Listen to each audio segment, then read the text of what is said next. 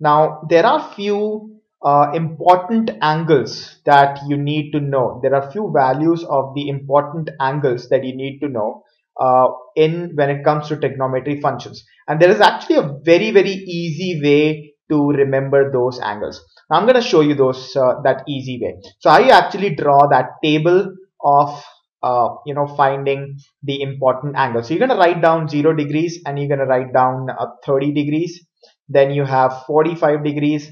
Then you have 60 degrees. Then you have 90 degrees. Right? So what you're going to do is you're going to write down 0 1 uh, 0 1 2 3 4 you're going to divide each thing by 4 you know just like that. And then you're going to square root everything now this is actually going to come down to the value of sine. So the value of sine 0 is 0 by 4 which is 0. This is 1 by 2. This is 1 by root 2. This is root 3 by 2 and this is 1. So the value of sine 0 is 0. The value of sine 30 is 1 by 2. Sine 45 is 1 by root 2. Sine 60 is root 3 by 2. Sine 90 is 1 and cosine is actually the reciprocal uh, you know the inverse of sine. So this one is going to be written here. This root 3 by 2 is going to be written here. This 1 by root 2 would be written here. This would be written here. And this would be written here.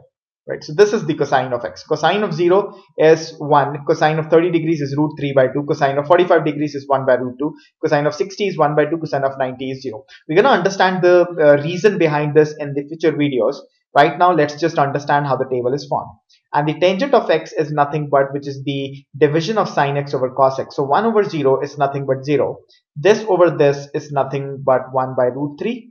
Uh, this over this is nothing but 1. This over this is nothing but uh, root 3. And 1 over 0 is nothing but not defined.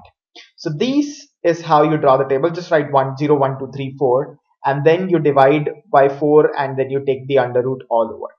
Now the values of cosecant x, the values of uh, cosecant s, secant x and cotangent x is something that you can find out by reciprocating sine, cos and tan, right? So that is something that you can do, fine. So, uh,